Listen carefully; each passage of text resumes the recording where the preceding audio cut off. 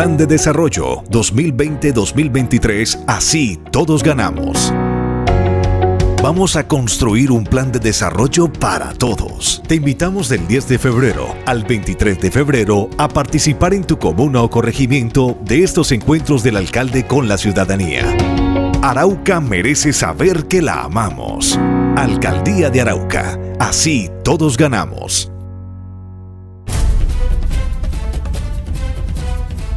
Ejército Nacional ofreció las caravanas escoltadas para los transportadores durante el paro armado. También patrullan las 24 horas en los cascos urbanos de cada uno de los siete municipios del departamento de Arauca.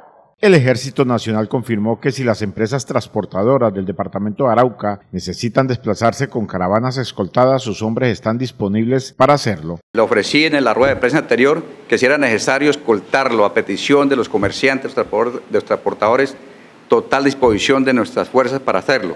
Igualmente quiero decir a los comerciantes de acá de Arauca, que trae unas tropas específicamente para eso, para que estén dándole vuelta aquí al comercio y que hablaran con todos los comerciantes, desde las 5 de la mañana, momento en que abren el comercio, hasta la hora que ellos cierren. Van a estar los soldados ahí presentes hablando con el comercio para no dejarnos intimidar.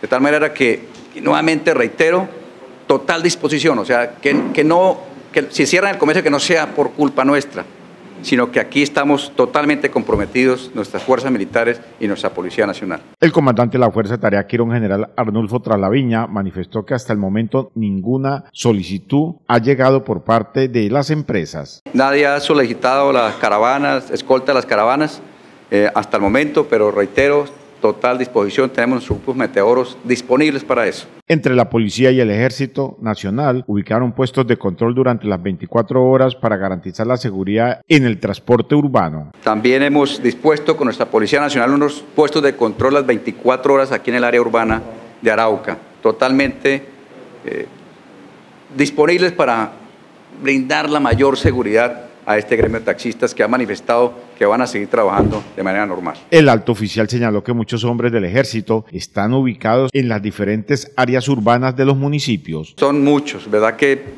son miles de soldados que están dispuestos en las vías y en todas las áreas urbanas de nuestros municipios están las tropas. Haciendo este mismo ejercicio que estoy viendo aquí, cada comandante regional con el alcalde está totalmente dispuesto para poder garantizar la seguridad en las áreas urbanas, especialmente a nuestros comerciantes. Las tropas del Ejército y miembros de la Policía Nacional estarán en los cascos urbanos para garantizar la seguridad. En todos está disponible bastantes tropas y bastante Policía Nacional para eso.